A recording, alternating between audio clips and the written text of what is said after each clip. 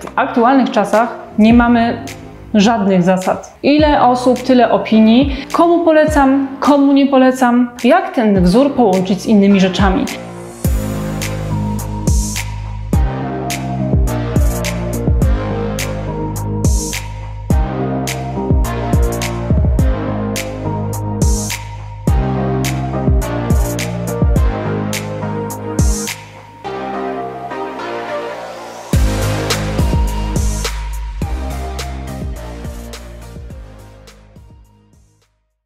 Dzień dobry, witam Was w poniedziałek. Ja nazywam się Karolina Szyszka, a ten kanał jest o moich dwóch największych pasjach: projektowaniu wnętrz i prowadzeniu własnej autorskiej pracowni, która nazywa się Grupa Nono. Na samym początku witam wszystkich serdecznie, tych, którzy są ze mną już dłużej, tych, którzy są e, od niedawna. Zapraszam Was, rozgoście się na moim kanale i jedna informacja ważna na sam początek. E, szykuję dla Was niespodziankę która pojawi się już w tym tygodniu. E, jeżeli chcecie się dowiedzieć, o co dokładnie chodzi, to zostańcie do końca tego filmu. Tak jak widzieliście, dzisiaj w tytule filmu wzorzyste płytki. Temat, który przecież wszyscy uwielbiają uwielbiają oglądać, podziwiać. Są to wzory, które cieszą nasze oko, które nas inspirują, na które mamy bardzo dużą ochotę, żeby do wnętrza sobie wrzucić, do łazienki, do kuchni, ale obawiamy się, czy to będzie dobry wybór, no bo może ten wzór nam się opatrzy, bo może nam się podoba dzisiaj, a za rok, za dwa, za pięć już niestety nie będzie modny, a przecież projektujemy najczęściej wnętrza na długi, długi czas. E, dlatego zawsze te wątpliwości w Waszych głowach się pojawiają. E, ja jako projektant wnętrz obserwuję to właściwie przy każdej no może nie każdej, ale przy wielu e, tematach projektowych, którymi się w mojej pracowni zajmujemy. Jeżeli już jakiś wzór nam się spodoba, to pojawia się kolejny problem. Jak ten wzór połączyć z innymi rzeczami? No bo te wzory przecież są mocno narzucające. Mogą się pojawić w formie akcentów, takie wzorzyste płytki, ale też możemy ten wzór połączyć jeszcze z innym wzorem. To zdecydowanie rozwiązanie dla bardziej odważnych osób. Ponadto mamy wzory różne, geometryczne, florystyczne, e, roślinne, kwiatowe, e, marokańskie, mm, ludowe. Tych wzorów jest bardzo dużo, właściwie nieskończona ilość. No i każdy może coś oznacza, każdy inaczej działa na nasze wnętrze. Co więcej, możemy zdecydować się na wzory, które są jednorodne, czyli na przykład na płytce mamy cały czas ten sam wzór, na każdej płytce jest ten sam wzór, albo każda płytka jest trochę inna, bo jest to tak zwany patchwork. Więc wtedy powstaje takie bardziej jeszcze zdobne i rozgadane rozwiązanie na naszej podłodze, ścianie, suficie, no właściwie wszędzie, gdzie tylko chcemy sobie położyć taką płytkę wzorzystą. W dzisiejszym odcinku opowiem Wam o tych wzorzystych płytkach. Powiem, czy w ogóle do wnętrz polecam. Komu polecam, komu nie polecam. Opowiem, z czym takie wzory łączyć oraz jakie mamy wzory do wyboru. Odpowiedzmy sobie na początku na pytanie, czy polecam takie płytki. Przede wszystkim zaznaczę jeszcze, że jako projektant, realizując wnętrza, zawsze nawiązuję do stylistyki, która jest odpowiednia dla danej osoby. Czyli to nie jest tak, że dzisiaj mi się podoba wzór bardziej roślinny, jutro geometryczny, więc tutaj pani Marysi taki zaproponuję, a panu Maciejowi taki.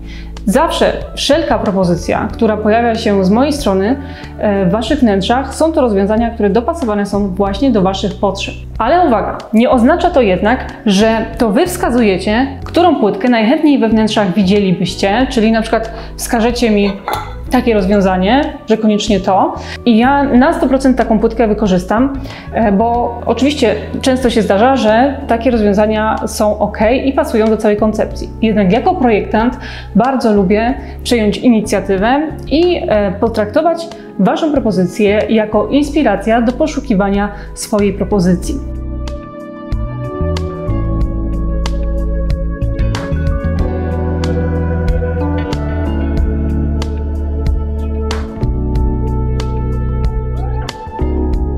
Więc jeżeli już wiem, że na przykład komuś z Was taki wzór płytki, w ogóle wzorzyste płytki podobają się lub się nie podobają, to już wiem tak naprawdę, czy będzie chęć i odwaga na to, żeby w ogóle sięgnąć po wzory w projektowanych wnętrzach.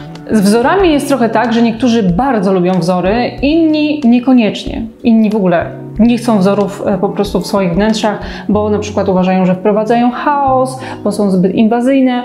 Niektórzy tymi wzorami lubią się otaczać, bo one tworzą jakieś piękne kompozycje, obrazy i, i sprawiają, że to wnętrze jest ciekawsze. Także ile osób, tyle opinii.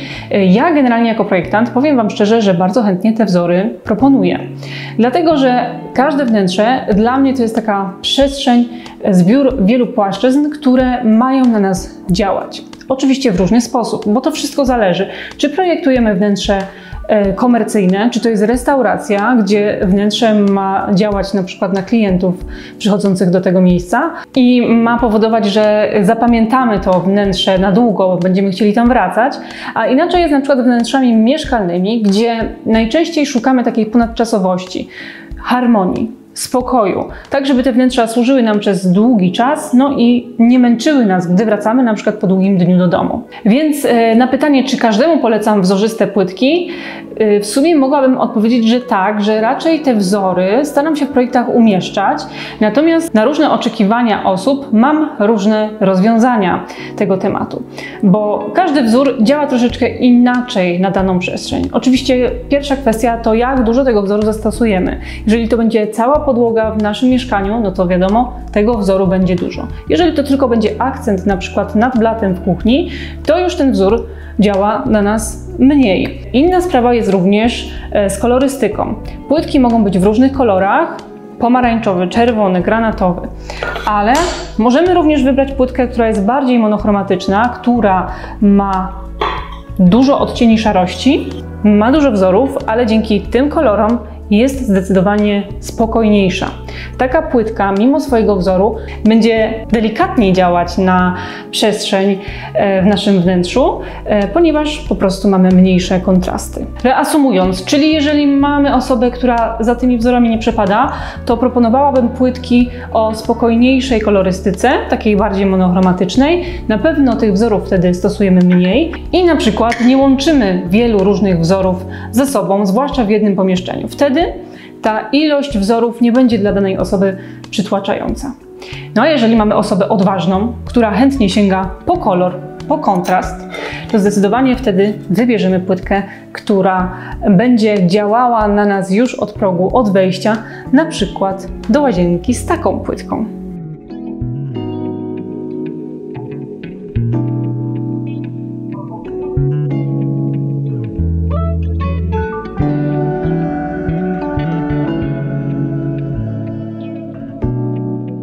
Odpowiedzmy sobie na kolejne ważne pytanie, jak wybrać wzór z tych wszystkich możliwych do nas, e, do naszego charakteru, do naszych potrzeb estetycznych. Na rynku mamy wzorów dostępnych mnóstwo. Są to wzory geometryczne, na przykład takie. Tutaj mamy z dużym kontrastem, bo mamy czerń, mamy biel, mamy mocne figury całkiem dużego formatu, więc na dużej powierzchni taka płytka będzie mocno działać.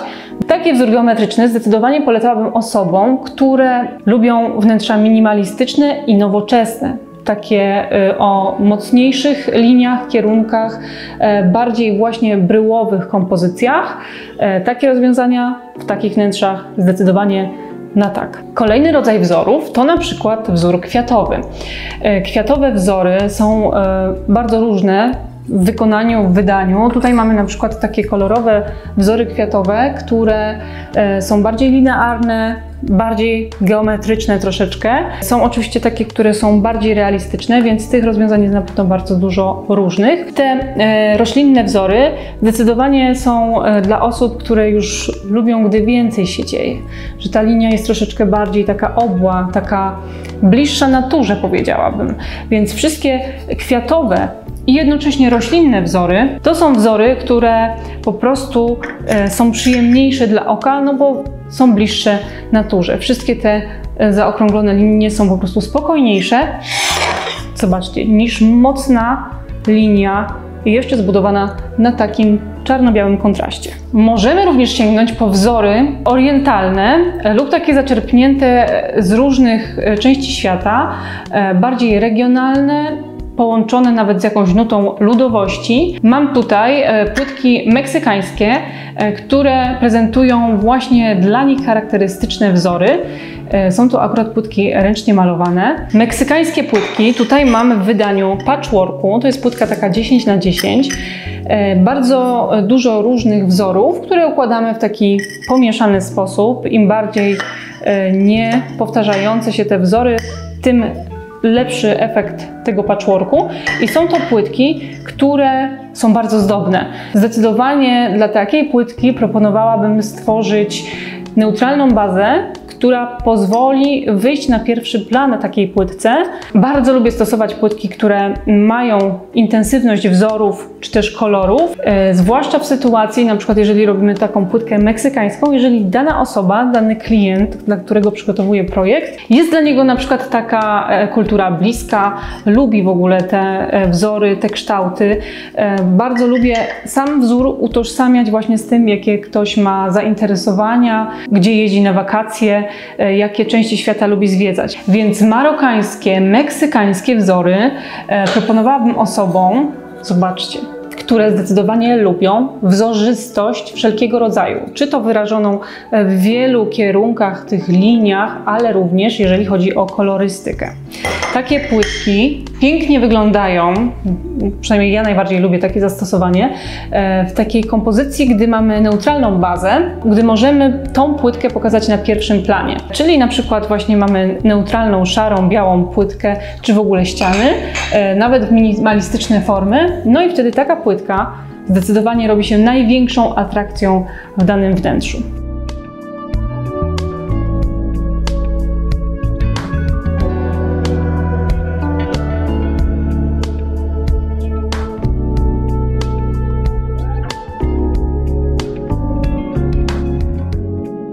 No dobrze, więc wiemy, jakie rodzaje wzorów mamy.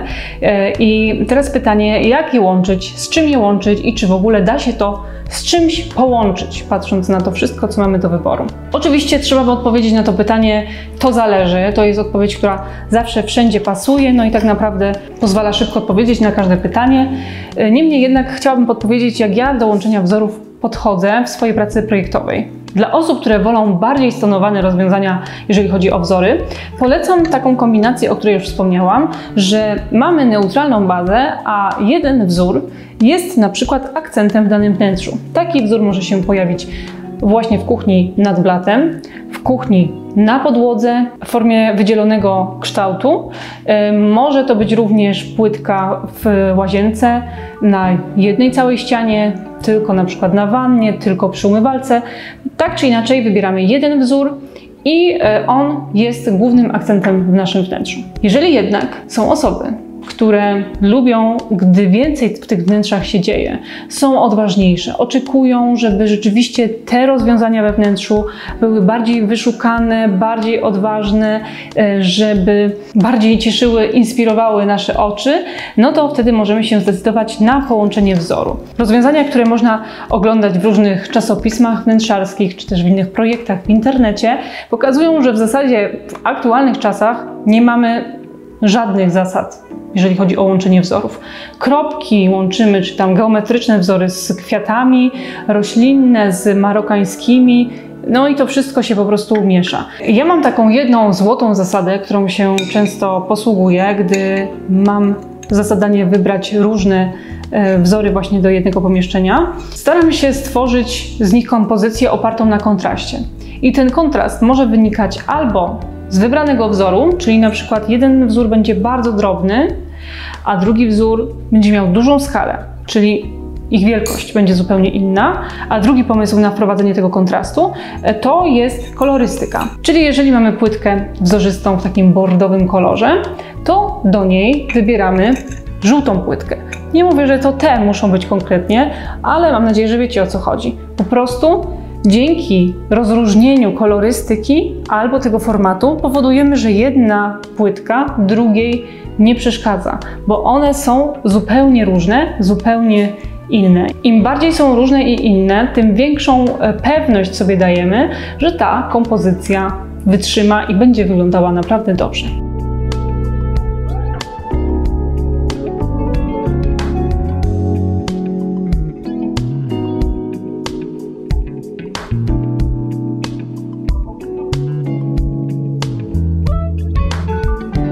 Mam nadzieję, że w dzisiejszym filmie pokazałam Wam, jak dużo rozwiązań, wzorów, kolorów możemy zastosować w naszych wnętrzach, stosując płytki wzorzyste. Tym filmem chciałabym dodać Wam odwagi do wybierania tych wzorów, bo to te wzory mogą spowodować, że Wasze wnętrza będą unikatowe, tym bardziej jeżeli zdecydujecie się na wzory, które są rzadko wybierane, które nie są popularne.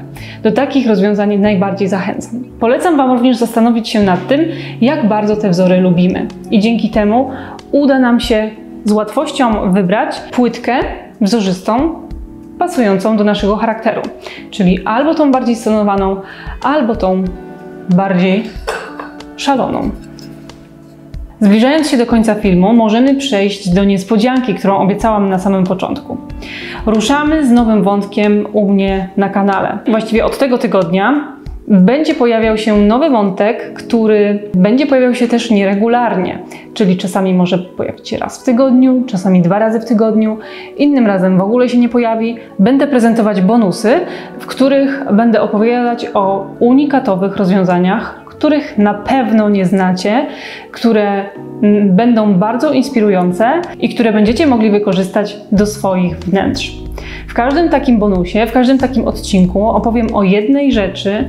To może być jakiś mebel, to może będzie jakaś płytka, to będzie na pewno jakaś rzecz związana z wnętrzami, która będzie bardzo inspirująca. Będą to ciekawostki, może będzie też trochę historii. W każdym bonusie będzie coś innego. Więc e, zapraszam Was do obserwowania mojego kanału, ponieważ te bonusy będą pojawiały się właśnie nieregularnie. Jeżeli nie chcecie przegapić żadnego takiego dodatkowego odcinka, to zapraszam Was do subskrypcji, którą warto włączyć. Włączyć również polecam powiadomienia, które dadzą Wam informację, że właśnie pojawił się nowy odcinek. Zapraszam oczywiście do komentarzy. Dziękuję Wam serdecznie za dzisiejszy odcinek. Mam nadzieję, że pobudziłam Waszą wyobraźnię tymi wzorzystymi rozwiązaniami i z chęcią takie zastosujecie u siebie w swoich wnętrzach. Pozdrawiam Was. Miłego tygodnia.